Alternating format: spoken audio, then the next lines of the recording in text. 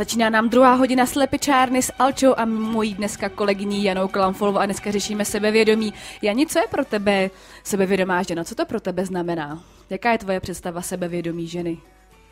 Tak uh, moje představa je taková, jak už jsem řekla ale na začátku. Pozor na ty představy. Ono už to slovo představa já nemám ráda, to znamená, uh, je to ta originální žena, která prostě neohlíží se v dobrém slova smyslu nalevo napravo, ohlíží se dovnitř sebe. Mm-hmm. To znamená, je spokojená sama ze sebou, kde vidí nedostatky, tak se z toho nehroutí, ale ví, že buď se s nima smíří, anebo najde způsob, jak ty nedostatky odstranit jde si za svým cílem, jde si za věcma, který chce prostě dělat, myslí svým vlastním rozumem, nenechává si tam vsunout ty cizí myšlenky a tvoří si tu realitu podle sebe. Ona je autorkou toho scénáře, ona je režisérkou, ona je hvězdou svého života. Hlavně tou hvězdou. A milé dámy, pokud vy tohleto o sobě si nemyslíte, tak to nemáte, tak nás poslouchejte, protože tohle budeme celou hodinku ještě řešit.